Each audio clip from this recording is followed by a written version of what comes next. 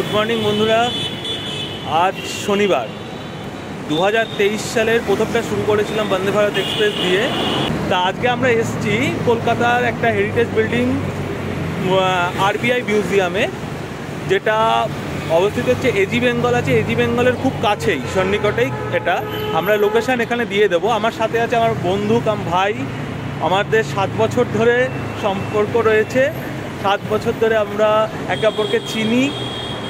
মাঝখানে কয়েকটা দিন একটুখানি দূরে দূরে এখন চলে আগে প্রতিদিন দেখা হতো এখন প্রতিদিন দেখা হয় না। তা আমরা এসেছি আরবিআই মিউজিয়ামে রিজার্ভ ব্যাঙ্ক অফ ইন্ডিয়া তো আমরা সবাই জানি Reserve Bank of India nineteen thirty ফাইভে প্রতিষ্ঠিত হয়। এবার এই বিল্ডিংটা এই রিজার্ভ ব্যাঙ্ক অফ ইন্ডিয়ার মিউজিয়াম ফার্স্ট হয় হচ্ছে উনিশশো আটানব্বই সালে মুম্বাইতে।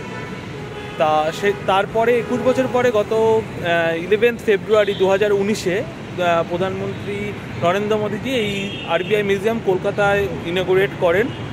এবং এই আরবিআই মিউজিয়ামে একটা জিনিস আছে, যেটা হচ্ছে গিয়ে আমাদের যে প্রথমে বিনিময় প্রথা ছিল, সেখান থেকে কীভাবে কারেন্সি নোট এলো, কীভাবে আমাদের রিভলিউশন ঘটলো, পুরো কারেন্সি সিস্টেমে সেইটা এখানে একটা হিস্ট্রি হিস্ট্রিটা পুরোটা এখানে করা রয়েছে। আর আমরা বিভিন্ন রকম পয়েন্টস রয়েছে। বিভিন্ন রকম কয়েন্স ওল্ড কয়েন্স রয়েছে। যেগুলো অলরেডি অপচলিত হয়ে গেছে সেই সবগুলো আমরা এখানে আজকে দেখব। এখানে ভিডিওগ্রাফি অ্যালাউড না কিন্তু আমরা ফটো তুলে স্লাইড বারফিক আপনাদেরকে সেটা দেখাবো। এটা এই বিল্ডিং আচ্ছা এই বিল্ডিংটা রয়েছে লালদিঘি এবং এজি বেঙ্গলের ঠিক মাঝখানে যে এইট কাউন্সিল হাউস স্ট্রিট যেটা যাচ্ছে সেটার ঠিক মাঝখানে বাদিকে পড়বে আর এইচএসবিসি ব্যাংকের ঠিক পাশেই। আমরা লোকেশনটা দিয়ে দিচ্ছি সাইডে।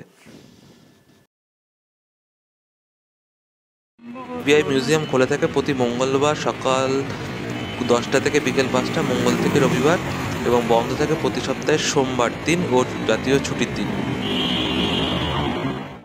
মিউজিয়ামে ঢুকে প্রথমে নাম অ্যাড্রেস ও ফোন নাম্বার রেজিস্ট্রেশন করতে হয়, তারপরে সেখান থেকে এই গেটটা দিয়ে ঢুকতে হয় ভিতরে। এই স্ট্যাচুটা পুরোপুরি তৈরি হয়েছে, পুরনো অপচলিত নোটগুলিকে কাটিং করে, কুচি কুচি করে সেটাকে সেই দিয়ে নোট মূর্তিটা তৈরি হয়েছে। এই গাছটাও তাই, সেই একই জিনিসের দিয়ে তৈরি। আর এই পিলারটা পুরনো যে কয়েন রয়েছে, সেগুলো দিয়ে সাজানো হয় আচ্ছা এই আরবিআই মিউজিয়ামের যে বিল্ডিংটা এই বিল্ডিংটা প্রথমে ছিল অ্যালায়েন্স ব্যাঙ্ক অফ সিমলার এতে ছিল। আরবিআই এটাকে নাইনটিন থার্টি ফাইভে লিজ নেয়। নাইনটিন ফর্টি থ্রিতে যখন অ্যালায়েন্স ব্যাঙ্ক অফ সিমলা লিকুইডেশনে যায়, তখন আরবিআই এটাকে পুরোপুরি অ্যাকুরেট করে। নাইনটিন ফিফটিতে যখন আরবিআই নিউ বিল্ডিংয়ে চলে যায়, তারপর এই বিল্ডিংয়ে আরবিআইয়ের বেশ কিছু ডিপার্টমেন্ট সেকেন্ড ও থার্ড ফ্লোরে রয়েছে। এখানে দেখানো রয়েছে বিভিন্ন সেঞ্চুরিতে টাকা কীভাবে প্রচলন হয়েছিল, সেইটা দেখানো রয়েছে। আনুমানিক তিনশো খ্রিস্টপূর্বাব্দে মেসোপটেমিয়া সভ্যতায় খাদ্যশস্যকে মুদ্রা হিসাবে ব্যবহার করার ইতিহাসে নিদর্শন পাওয়া যায়। যেখানে খাদ্যশস্যকে পরিমাপ করার জন্য সেকেল এই নামে একটি একক ব্যবহারের প্রয়োজন প্রচলন ছিল পরবর্তীকালে এই সেকেলকে রূপ ব্রোঞ্জ এবং তামা পরিমাপের একক হিসেবে ব্যবহার করা হতো। কড়ির আকার এবং আকৃতির জন্য কড়িকে বিনিময়ের মাধ্যম হিসেবে বিভিন্ন সময় বিভিন্ন জায়গায় ব্যবহার করা হয়েছে। এর ব্যবহার বেশিরভাগটাই মূলত চীন এবং ইন্ডিয়াতে হয়েছে। ইন্ডিয়াতে এটার ব্যবহার টোয়েন্টি সেঞ্চুরির লাস্ট পর্যন্ত হয়েছে।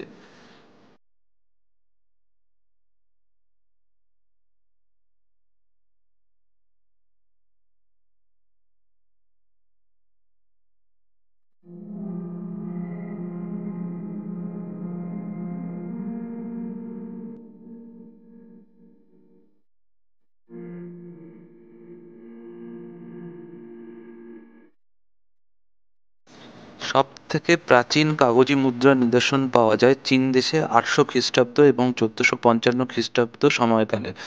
তাং মিং এবং সং রাজবংশের কাগজি মুদ্রা জারি করা হয়েছিল।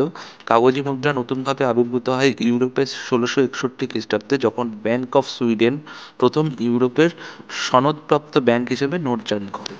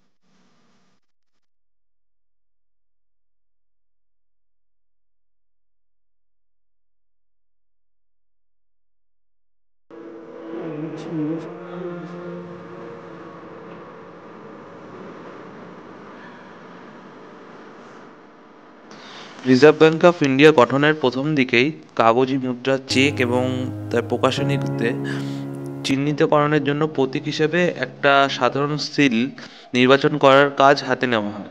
সরকার চেয়েছিল এই সিল নির্বাচনের ক্ষেত্রে খুব সরাসরি নয়, অথচ একটি সরকারি সংস্পর্শ থাকতে হবে।